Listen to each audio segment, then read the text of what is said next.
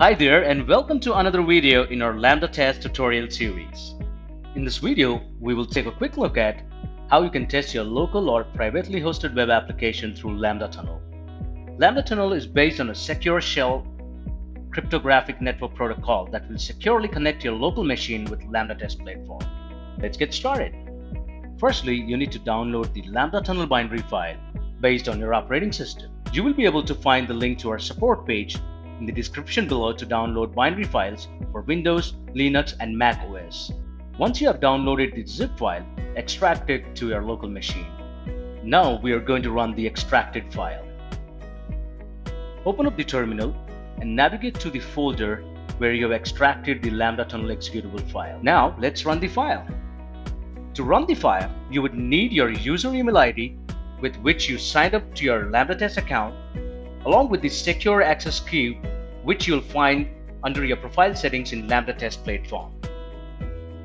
For example, if your user login email is user at lambdatest.com and your key is 12345, then your command would be dot slash lt space hyphen user space your email ID that would be user at lambdatest.com space hyphen key space 12345. If you're using Linux or Ubuntu computer, the command line is going to be the same. However, for the Windows machine, the command line will be slightly different. You can find more information from our support page for the Windows command line. Once you hit enter, you're all set to go.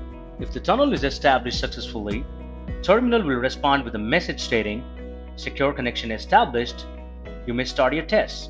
You can also make sure that your tunnel is established successfully by checking the tunnel configuration icon in the top navigation menu in the LambdaTest platform. Now you've established the connection, you can now test local pages in real time on both desktop and mobile browsers. Just like regular real-time test, just enter the local URL you want to test in the launcher and select the proxy tunnel you just established and click launch. And that's it. You're all set to kickstart your local testing.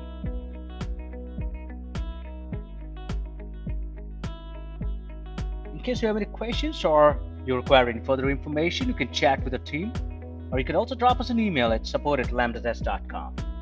We're here to help and we'd love to hear from you. Happy testing!